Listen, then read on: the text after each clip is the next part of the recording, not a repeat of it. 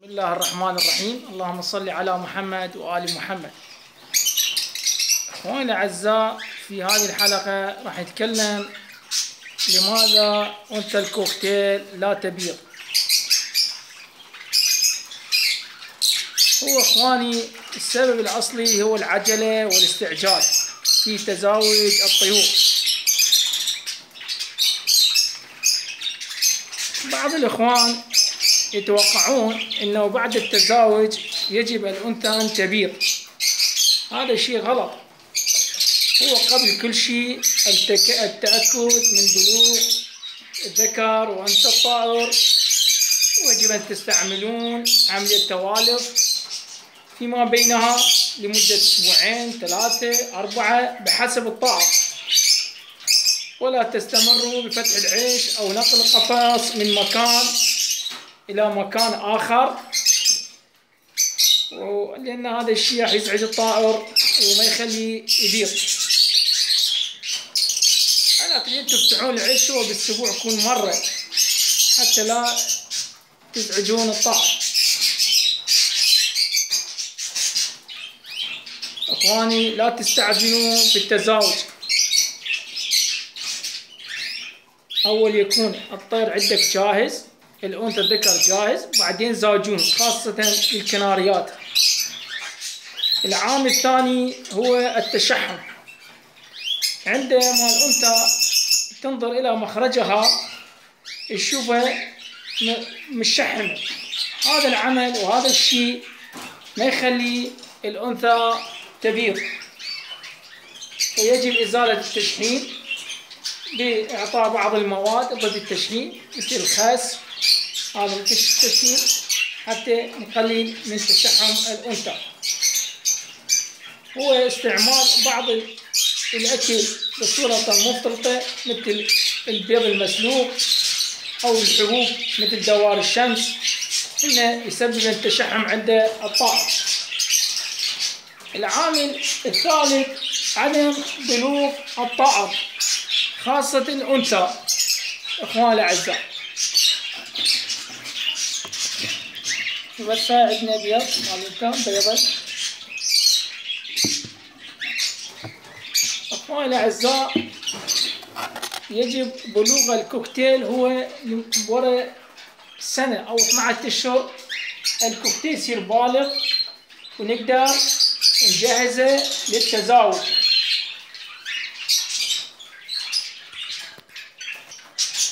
العامل الآخر هو الأمراض.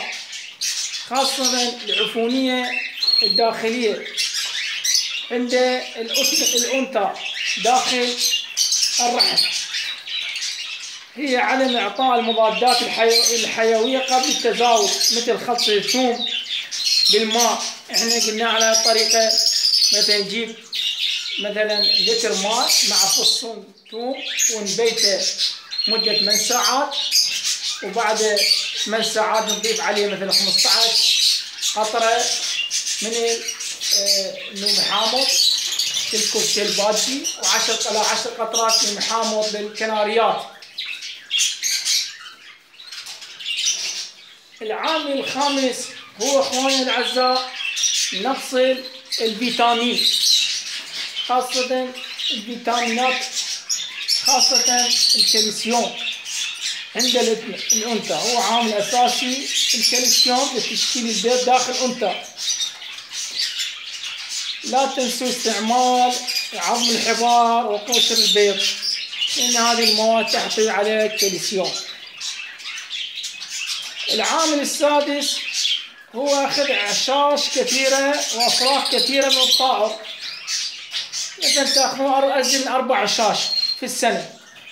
هذا يسوي يرهق الطائر ويخليه يتعب وبعد ما يقدر ينتج بيض أخواني الأعزاء في السنة ازيد من أربع أعشاش لا من الطائر. وحتى في مراحل التبييض والافراخ تعطوه اكل زين وعناية ونظافة وفيتامينات حتى ينتج لكم أكثر. سابع عامل هو الإنتاج في فترة الصيف أو فصل تغيير الريش. إخواني في هذه الفصول فصل الصيف وفصل تغيير الريش لا تستعجلوا في الإنتاج لأن لأن هذني الأوقات هو فصل الراحة للطائر ويجب في هذه الأوقات أن تغذوه تغذوا الطائر بالفيتامينات والمواد حتى ينتج لكم أكثر. أخوان الأعزاء على وقت تغيير أو الصيف الزوجون الطيور. راح يصير عندكم بيض غير مخصب. وحتى لو عندكم أفراخ تصير أفراخ ضعيفة واحتمال تموت. أخواني الأعزاء يجب آه، أن بكان القفاص يكون في مكان هادئ وبعيد عن التيارات الهوائية. ولا تحركوا ولا تنقلوا من بكان لبكان ولا تغيروا تبدلوا العيش كذلك وبعيد عن الدخان. وعدم استمرار في فتح العيش ومراقبة الطائر لأن هذين العوامل كلهن يأخرن في تبييض الأنثى. إخواني الأعزاء إذا أعجبكم هذا الفيديو. لا تنسوا الاشتراك والضغط على زر لايك وتفعيل الجرس حتى يصلكم كل جديد. والسلام عليكم ورحمة الله وبركاته.